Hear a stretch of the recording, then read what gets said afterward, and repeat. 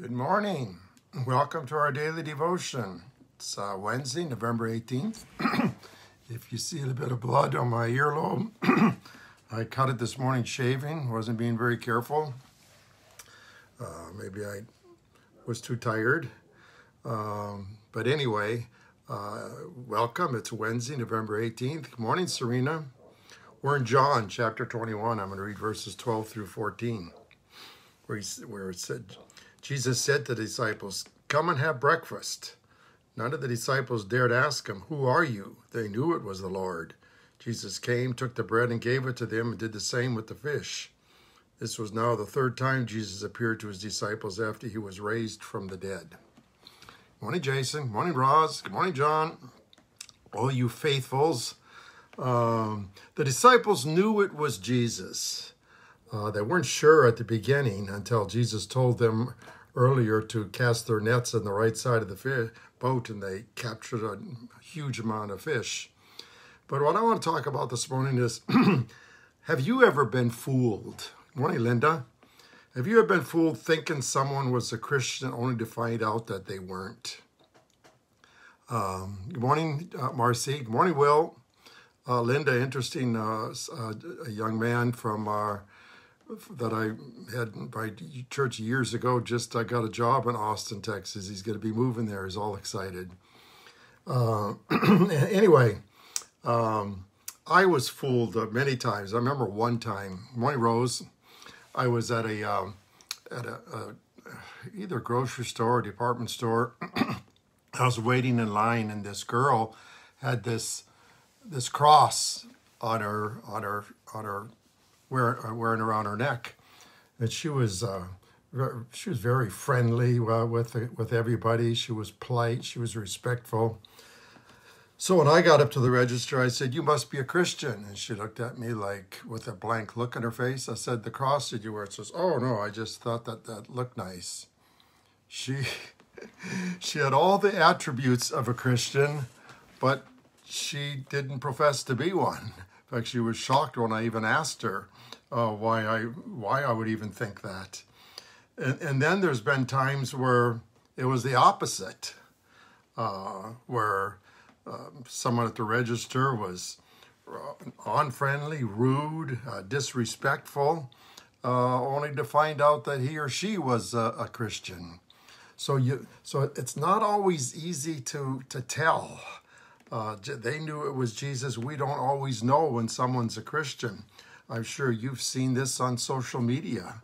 Uh, pe- people professing to be Christians that are arguing, disrespectful, rude, uh, hard to hard sometimes hard to to be able to tell uh, a believer from a non-believer. Uh, I've seen Christians, well, I'm sure you have too. Good morning, Grace. I've seen Christians with bumper stickers fish or all Christian bumper stickers that shouldn't be wearing them, that are cutting in and out of traffic, that are speeding, that are giving angry looks, and then they got the Christian bumper sticker in the back. Uh, bad witness, bad witness. Uh, so sometimes it's hard to identify Christians. Uh, so the question is, how how how would people identify you as a Christian? How would they know that you're a, a Christian without talking to you, with just with, with just your who way you are, the way you act? Uh, would they would they know it by your generosity? Would they know it by how that you care about others? Would they know it by your language? Would they know it by the love you show others? Morning, Connie. Uh, people should be able to see qualities, attributes in us that, that, that show that we are a Christian. Uh, in Matthew, Jesus tells us this. Jesus says, You are the salt of the earth. But if salt loses its saltiness, how can it be made salty again? It is no longer good for anything except to be thrown out. You're salt, which means that, that you should give flavor to the earth people should should look at you with a smile on their face. Uh, we're salt, not pepper. well, people shouldn't be like. Pe- people should should be drawn towards us. Morning, Sharon. Uh, that's why Jesus says we should be salt, and then he goes on to say, "You are the light of the world." A city on a hill cannot be hidden, neither do people light a lamp and put it under a bowl. Instead, they put it on its stand and it gives light to everyone in the house. Well, you are a light. You should give you should give light to everyone around you. Jesus should shine through you. It says, in the same way, let your light shine before people, that they may see your good deeds and praise your Father in heaven people should be able to look at us and know that we're a Christian. Is, is that the case with you? Is that the case with you? Do, do people know that you're a Christian, Will? Do people know that you're a Christian, Sharon? Do people know that you're a Christian, Connie? Do people know that you're a Christian, Grace? I just saw, Grace, I just saw uh, a picture on, on Facebook of uh, you and your sister and Dandy out there feeding, taking care of, of the homeless. That picture, that picture is a light. That, that picture is a light. You, you can't look at that picture and, and not smile and, and not find flavor and, and, and, and not know that those people love and those people care and those people obviously are Christians. That's what God desires for all of us. For all of us in, in James 2.18, it says this. Well, let, let, me, let me read more of it, okay? What good is it, my brothers and sisters, if a person, if you claim to have faith but have no good deeds? What, what good is it if you say, I'm a Christian, but you, but there's no good deeds. There's there's nothing there's nothing that people see you doing that would identify you as a as a Christian.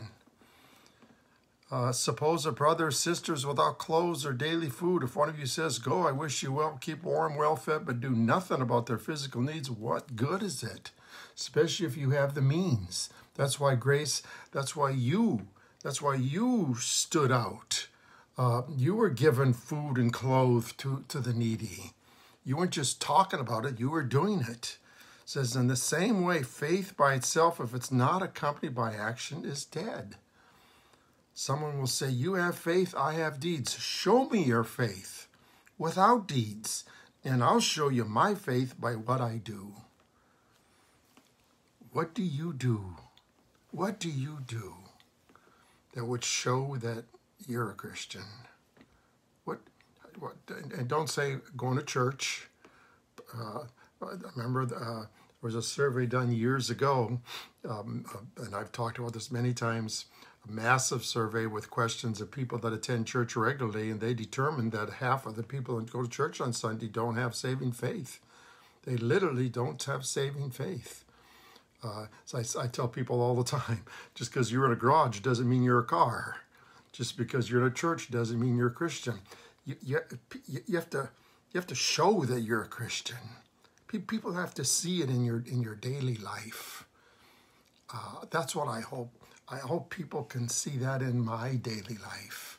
I, I, I, I golf with Sharon, with Sharon's husband, Doug, and, um, and sometimes I get ribbed a little bit um, if, I, if I get a little bit upset with a bad golf shot because I've never seen Doug. I've never seen Doug get mad. I've never seen him drop a club. I've never seen him. I've been known to drop a club. I've been known to shake my head. And, and it was funny because Doug said, uh, it must be okay because I see the pastor doing it when we were golfing with his, with his friend the other day, and it's kind of like it, it, it, that convicts me. That convicts me. It's kind of like no, no. I, I need to show my Christianity even on the golf course. I need to show it when I'm in a grocery store, when I'm in line. I need to see it. I need to show it when I'm driving on a freeway, when I'm driving on a street. I need to show it wherever I'm at. That's what that's what Jesus says. Be a light. Be a light. Now, a light, a light illuminates. Light illuminates. It shows other people where to where to go, and, and how to get there, and that's what that's what God has called us to do. Okay. Uh, Will says, ride dirt bikes. yeah, yeah, yeah, that's yeah, sure, yes. Show your Christianity when you're out there riding a bike. You know, Will, I got I gotta commend you when you had your accidents. For people don't know, Will lives in. It's a friend of my brother, my son's, lives in England with his wife and, and, and son, and he had a bad motorcycle accident where he broke his back, close to close to being completely paralyzed. Uh, but thank God he, he, he wasn't. God saved him. But he has all kinds of metal in his back, you know, to hold. But but I never saw him in all of his posts and everything. I never saw him discouraged. I never saw him cursing. I never saw him. He was he he he he, he uplifted people around him. Will you uplifted me just with your attitude? I mean that that was that was hard. Laying in a hospital there, not able to move for weeks at a time, not knowing exactly how well you would be, but not giving up and keeping a smile on your face. That's what Jesus is talking about. That's what he's talking about. Be a light. Do people do people know that you're a Christian? Do they know?